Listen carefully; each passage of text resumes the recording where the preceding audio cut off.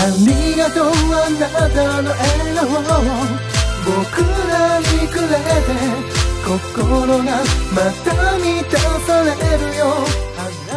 えっと、僕もあの津波でお家が一応やられてしまったんですけど、まあ、近くに中学校があるんですでその中学校であのいろいろボランティアとかしてたんですけどやっぱどうしてもあの家がもうなくなってしまった方もいらっしゃってどうしてもやっぱ辛いというかもう物々しい現場だったんでなんか生まれるものがどうしてもネガティブネガティブで言ってしまったのでその中でやっぱり笑顔ってすごい大事だなって思ってた時にキカさんがこの笑顔カレンダーっていう企画をやって手伝ってくれでまあキカさんとは高校の時から仲良かったので。で僕も一応歌で頑張っていて僕の得意というか僕のフィールドで笑顔にみんな笑顔にすることができたらいいなと思ってこの「笑顔」っていう曲を聴きましてですね。みんなに本当に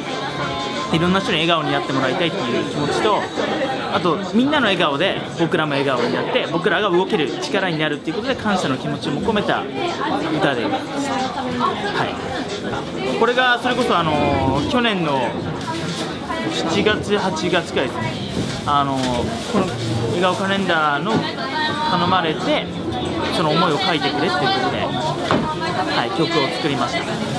た思いもリンクしてたのですごい作りやすかったです。これが復興の、え、笑顔カレンダーのテーマソングにあった笑顔こちらはですね500円で販売しております、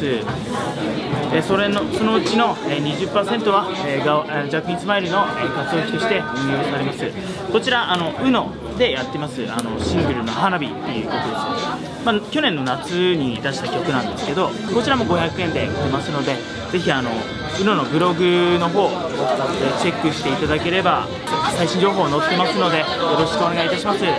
あと10日ですね3月10日の方に、えー、ライブの方サンプラザ仙台で、えー、させていただきますのでこちらもぜひ、えー、お越しいただければと思います。宇野の翔太です。よろしくお願いします。